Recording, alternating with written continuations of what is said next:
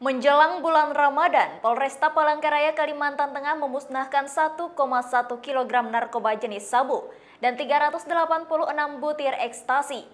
Barang bukti bernilai lebih dari 1 miliar rupiah tersebut merupakan hasil pengungkapan kasus pada bulan Februari 2023 dari seorang bandar narkoba lintas provinsi yang sempat kabur namun berhasil ditangkap. Kantong plastik besar berisi 12 paket sabu seberat 1,1 kg lebih dan 386 butir ekstasi ini dimusnahkan petugas di Polresta Palangkaraya, Kalimantan Tengah. Sebelum dimusnahkan, kedua jenis barang haram tersebut terlebih dahulu diuji petugas Balai POM menggunakan alat khusus dan dinyatakan positif mengandung narkoba.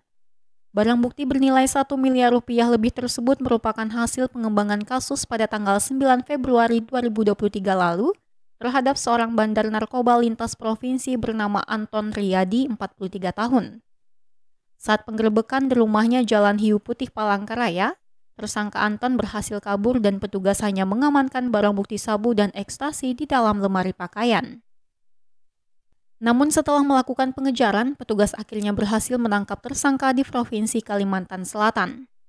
Rencananya barang bukti sabu dan ekstasi yang didapat dari Banjarmasin, Kalimantan Selatan tersebut akan diedarkan tersangka di wilayah kota Palangkaraya dan sekitarnya.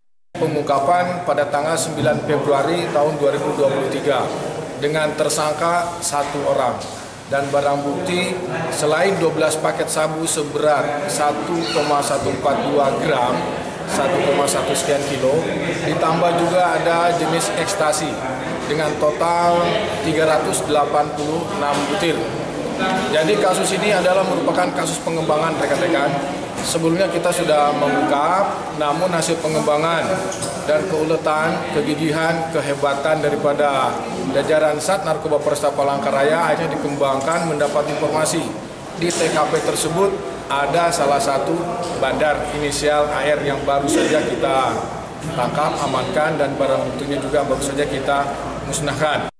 Anton tersangka bandar narkoba kini ditahan di Polresta Palangkaraya dan dijerat Undang-Undang Narkotika dengan ancaman maksimal 20 tahun penjara.